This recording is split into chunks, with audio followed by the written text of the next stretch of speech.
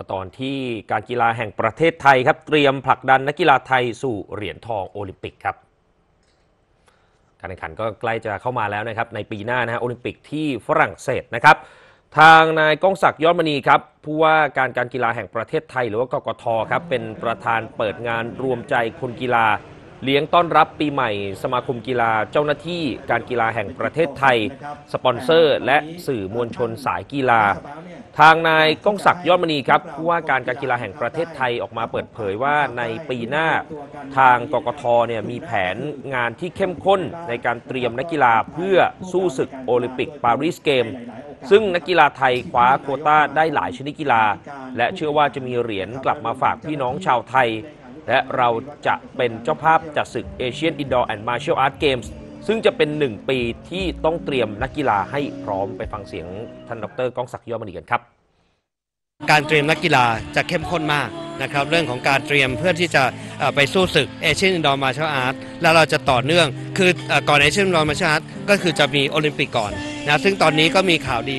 เข้ามาเรื่อยๆนะเพราะนักกีฬาทั้งคนทั่วไปและนักกีฬาคนพิการเนี่ยเรา qualify ได้เยอะขึ้นเรื่อยๆนะครับก็คิดว่า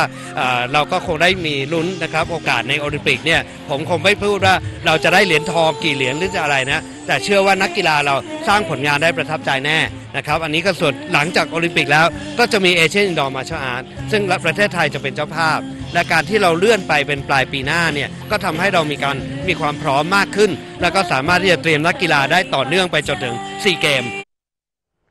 พร้อมกันนี้ผู้ว่าการการกีฬาแห่งประเทศไทยกล่าวอีกว่า ถือเป็นเรื่องที่ดีครับ ที่รัฐบาลสนับสนุนกีฬาเต็มที่ หาเงินทุนเพิ่มเติมนำโครงการ 1 กีฬา 1 รัฐวิสาหกิจ กลับมาสนับสนุนสมาคมกีฬา รวมทั้งให้เอกชนเข้ามาร่วมสนับสนุนกีฬา ซึ่งจะตอบโจทย์มีเม็ดเงินมาเติมเต็มในส่วนนี้นะครับ เพื่อโอกาสในการเก็บตัวนักกีฬาที่มากขึ้น ผู้ว่าการการกีฬาแห่งประเทศไทยครับกล่าวถึงแผนของ National Sport Park ว่า